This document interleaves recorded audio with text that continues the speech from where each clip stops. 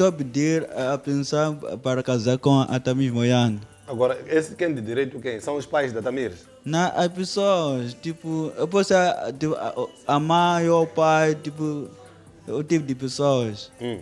Mas quem, eu acho que tu tens que pedir primeiro a, a, a mão da Tamires em casamento. Sim, mas não, não é problema. Hum.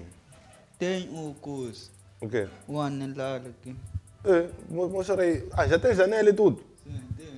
É pra, esse anel é para Tamires. Sim.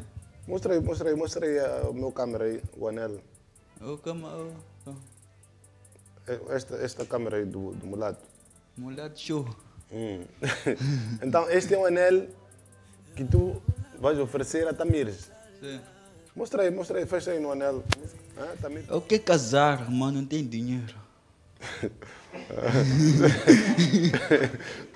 Mas como é, como é que vais casar com a Tamires Moiano se não tens dinheiro? Hã? Como é que vai ser se não tens dinheiro? Como é que vais casar com a Tamires? É, a, a fundo. Tipo, eu primeiro vou conversar com, com o padrinho Fred Socias. Ah, é, o Fred é o teu padrinho. Não, a- Esse é meu padrinho. Ah, vais pedir a ele para ser o teu padrinho? Sim. A, a, a- co- como chama? A minha madrinha vai ser a Bibas.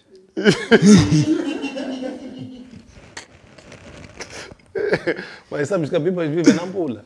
Sim, mas é- ele vai ter, ter, ter avião para decolar, não é problema.